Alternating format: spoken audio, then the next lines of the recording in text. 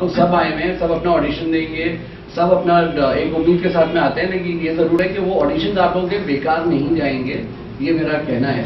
क्योंकि वो हमारे पास में एक डेटाबेस बन जाता है, जहाँ से हमें कभी भी स्टोरीज हमारी अलग अलग होती है। हर स्टोरी में, किसी स्टोरी में हमारे पास में पंद्रह कैरेक्टर होते हैं, किसी स्टोरी में हमारे पास छत्तीस कैरेक्टर्स होते हैं। तो कहीं ना कहीं कहीं ना कहीं वो कहीं ना कहीं फिट होते हैं तो वो ज़रूर यूज़ होंगे। मतलब एक्सप्लॉयटेशन कहीं से किसी के साथ में नहीं होगा।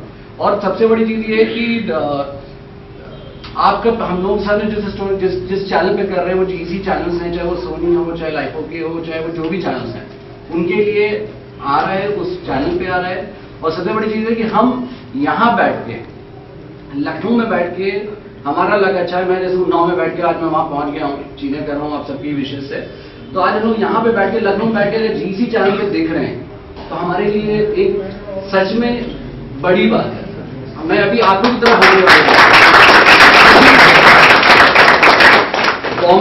में अगर आप लोग गए होंगे आई एम श्योर कि बहुत सारे लोग गए होंगे सब लोग जानते हैं वहाँ की इंडस्ट्री को क्या चीज़ें चल रही हैं।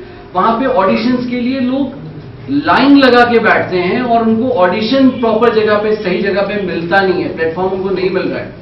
मतलब आपके यहाँ तो चलिए अच्छा है जस्ट बिकॉज़ ऑफ़ आपका और आपकी सर्च uh, की वजह से हम लोग यहाँ पे आए हुए हैं। हमारे जैसे और लोग भी आएँगे। ऐसा नहीं कि हम ही लोग आए हम लोग बहुत बड़ी वो चीज़ करके आए हैं बट और लोग भी आएँगे just because of them only और आप लोगों को एक अच्छा अगर यहाँ से मिल रहा प्लेटफॉर्म मुझे बहुत अच्छा लगा। मुझे बड़ी खुशी हुई यहाँ पे आके कि ऐसा कोई प्लेटफॉर्म है यहाँ पे जहाँ पे आप लोगों को एक टैलेंट यहाँ से निकल के आ रहा है। और लखनऊ और यूपी जो है कम्प्लीटली एक लोग just because of subsidies and every everything film सब कुछ, सब लोग आ रहे हैं यहाँ पे।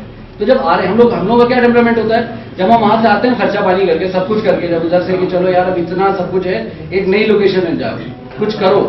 चैनल हमें कुछ भी दे, ना दे, कुछ भी नहीं। बट हम अपने लोगों के बीच में जाके एक अच्छी लोकेशन में जाके शूट कर रहे होते हैं, सारी चीज़ें कर रहे होते हैं तो हम चाहते हैं कि हमारा टैलेंट भी वहीं से मिल जाए। हमें हमारी कोशिश रहती है कि हमें टैलेंट मिले, क्योंकि वो लिंगो जो हम लोग जिस तरह के डालाउट डिलीवरीज है सब कुछ होती है ना